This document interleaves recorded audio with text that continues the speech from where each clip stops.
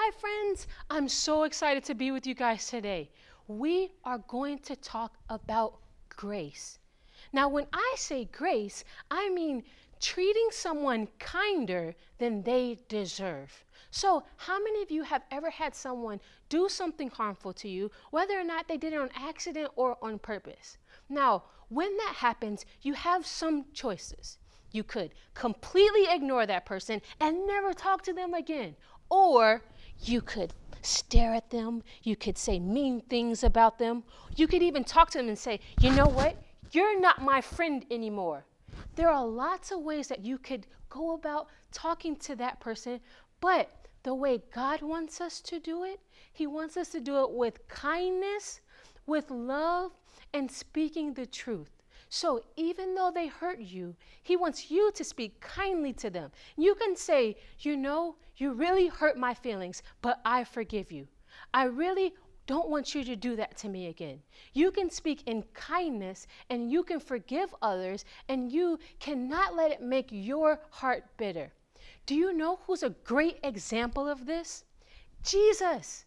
Jesus died on the cross, and while Jesus was being hung on the cross, he could have said anything. He had the power to come down from the cross. He could have punished those who put him on the cross. But instead, do you know what he said?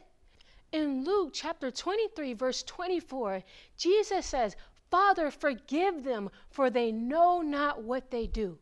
Jesus is a perfect example of grace. He could have been mad, he could have been angry, he could have been bitter, he could have said hurtful words, but instead, Jesus showed them forgiveness, he showed them kindness, and he was gracious towards them.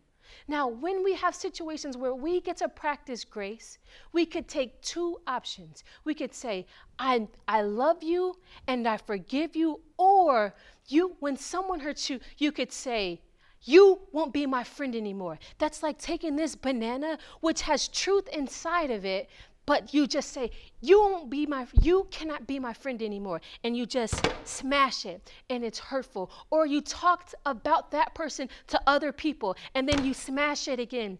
And then you ignore them, you smash it. And then you say hurtful things about them. You don't forgive them. You don't pay attention to them anymore. It just, makes your heart sad and it makes your heart bitter. You hold on to it, you keep bringing it up.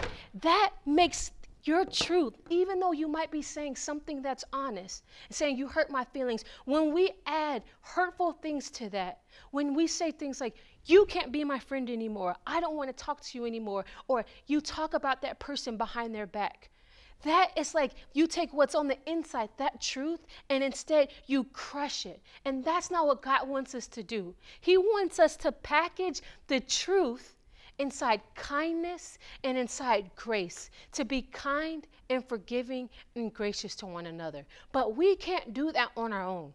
We have to ask God to help us to be gracious to other people. So, right now, we're going to pray and we're going to ask God to help us.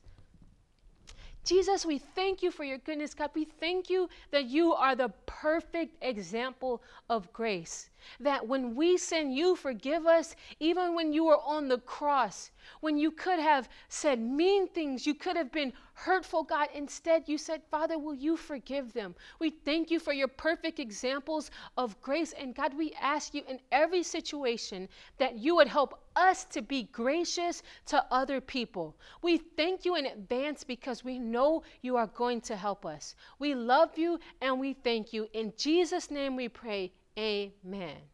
Wow, guys, God is going to help us to be kind and gracious to other people. I love you guys so much, and I hope you have a wonderful day.